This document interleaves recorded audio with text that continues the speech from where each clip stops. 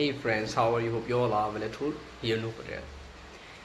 कल से इंडिया में जश्न का माहौल है आप सभी को पता होगा कि इंडिया ने world cup T twenty two thousand twenty four जीत लिया है अपने पास कर लिया है बट हमें इस पूरी टूर्नामेंट में से बहुत सारे लेसन सीखने को मिलते हैं जिसमें से हम अगर बात करें तो कोलाबरेटिव वर्क है यूनिटी है टीम वर्क है स्पोर्ट्समैन स्पिरिट्स है ये सारी चीज़ें देखने को मिलेगी। आपने वो सीन भी देखा होगा जिसमें रोहित शर्मा और हार्दिक पंड्या ने गले मिलकर इस जश्न को मनाया था और दोनों बहुत इमोशंस में आ गए थे।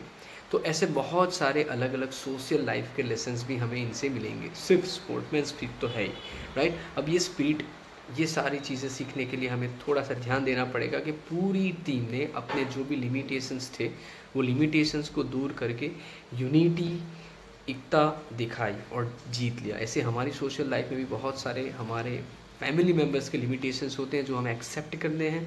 वो हमारे एक्सेप्ट करेंगे तो हमारी फैमिली की जो भी है ऑब्वियसली जीत होगी।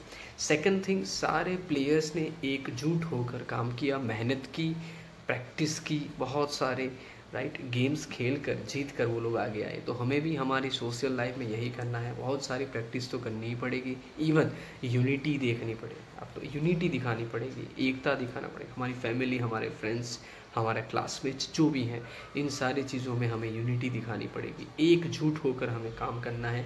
बहुत सारे लोग, बहुत सारी चीज़ें मिलकर काम करते हैं तो बहुत सारे प्रॉब्लम्स होते हैं। बट इन सारी चीज़ों को साइड में हटाकर यूनिटी दिखानी है। लिमिटेशंस को हमें एक्सेप्ट करना है देन वी विल सक्सेस तो ये जो जीत है, वो हमारे लिए बहुत बड़ा लेसन है। Once again congratulations to team India jet जिन्होंने टी ट्वेंटी वर्ल्ड कप 2024 जीत लिया है specially the captain Rohit Sharma, Virat Kohli, ऐसे बहुत सारे प्लेयर्स हैं जिन्होंने अपनी पूरी टीम वर्क के साथ, ये किसी एक की जीत नहीं है, पूरे भारत देश की जीत है, किसी एक प्लेयर की जीत नहीं है, पूरे इंडियन टीम की जीत है। तो सभी प्लेयर्स को once again congratulations to all of you thank you so much यनो Patel